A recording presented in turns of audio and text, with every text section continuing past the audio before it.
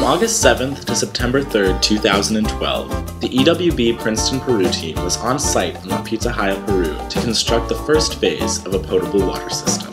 The drinking water in this community comes from the Rio Moche, which is a very large river and the dumping ground for lots of communities upstream. So it's not surprising that the water in these irrigation canals has tons of fecal coliform and bacteria in it. Due to differences in water availability and elevation between sections of the community, the EWB team and La Pitajaya residents plan to construct two separate water systems, one for the upper part of town, Alta, and one for the lower part of town, Baja. The first phase of the project is the completion of the Alta section.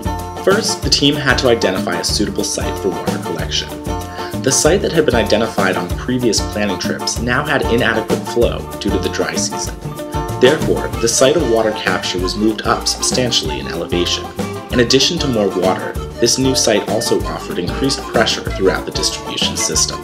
The team also worked with the community to carry out a variety of construction tasks. A concrete structure for water capture was built at the source, with a pipe connection to a spring box or regulation tank. The base slab for the plastic reservoir tank was also constructed. By the end of the implementation trip, the reservoir base, water collection system, and concrete regulation tank were completed. The team also dug one kilometer of trenches and installed and buried the pipeline for this stretch of the distribution network.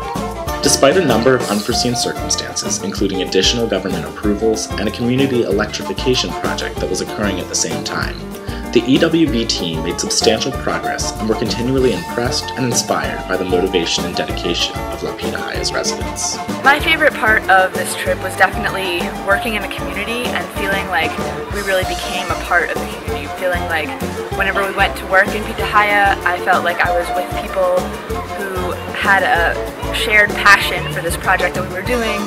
We had shared jokes, shared experiences, um, and in a way it really felt like coming home every time. Princeton's motto is in the nation's service and in the service of all nations.